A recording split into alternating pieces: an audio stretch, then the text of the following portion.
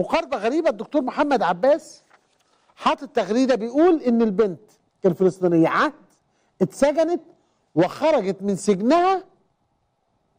زي ما بيقول أهو أوجعني ذلك التعليق الصهيوني كثيرا عن عهد بيقول إيه؟ في كم بلد عربي كان يمكن لعهد أن تخرج من السجن حية؟ وأيضا عذراء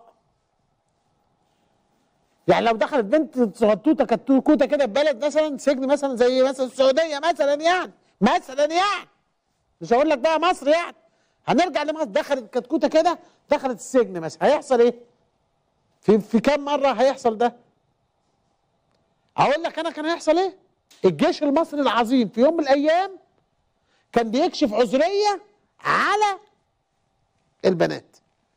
منظمه العفو الدولية قالت كده قالت الجيش المصري اجبر فتيات على اختبار العذرية كشف الإيه؟ العذرية ده الجيش المصري الإيه؟ العظيم أيام الثورة مين اللي كان بيكشف مين رئيس لجنة كشف العذرية؟ عارف مين؟ عبد الفتاح السيسي هذا الكلام عرضته في برنامج لي كان على قناة الصباح الكويتية في 2011 كان كاتب أظنه يا تشارلز كراوتهامر في الواشنطن بوست أو حد تاني كاتب أمريكي من أصول تركية قديمة لكنه متعصب ضد تركيا. هذا الكاتب كتب يقول إنه عنده معلومات أن الذي كان يقود فحوصات كشوف العذرية هو اللواء عبد الفتاح السيسي رئيس المخابرات الحربية. وطبعا انت فاكر إن عبد الفتاح السيسي طلعوا بيان اعتذروا فيه عن الكلام دوت. ده فين؟ في مصر. تبقى المقاربة اللي حطها الدكتور محمد عباس إن الصهاينه أشرف من عبد الفتاح السيسي وجيشه من من جنرالاته عشان ما اظلمش كل الجيش عشان ما يبقاش ظلم. تصدق يا أستاذ؟ كم بقى واحدة دخلت الجيش المصري وتعرضت للإهانة؟ وخلع حجابها في الشارع لو حضرتك يا سعادة المخرج تجيب لنا صورة اللواء اللي واخد البنت تحت باطه كده في الأزهر تعرف على طول إن أنت في بلد يقودها مجموعة حيوانات مفترسة شرسة. في فنانة يا جماعة في مصر. فنانة درجة ثالثه اتهموها.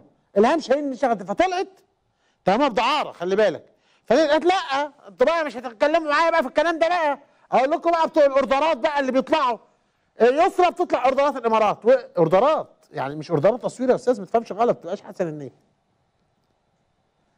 انت بتتكلم اهو الدكتور عباس بيقول لك الراجل ناقل عن الصهيوني طبعا صحيح بيقول لك البنت طالعة شخص سليم. كم بقى بني آدم راجل دخل السجن المصري وطلع شخص سليم. ما بقولكش طلع متعور ولا إيده مقطوعة. انتهك عرضه انتهك عرضه شوف الصورة اللي جاية دي. بص كده. ده في العالم انتهاك وتحرش. وده بغل ابن بغل ابن بغل يعني بغل ابن بغل ابن بغل وجنبه مجموعة من البغال بيمسك بنت كده.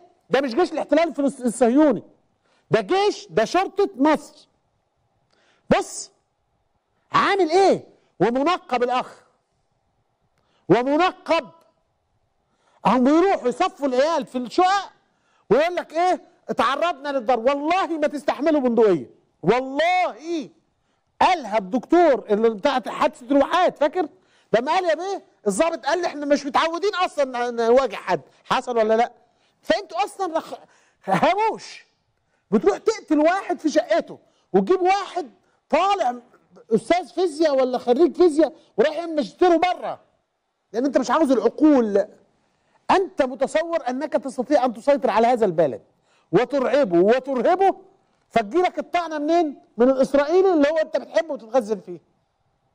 بيقول لك بيقول لك بالبلدي كده الراجل اللي غرد التغريده الصهيوني بيقول لك لو كانت عهده عندكم كانت طلعت عاملة إزاي؟ حامل في كام شهر أنا آسف صح ولا لا يا أستاذ؟ ألم يتم اغتصاب الفتيات في سجون مصر؟ ألم يتم اغتصاب الرجال في سجون مصر؟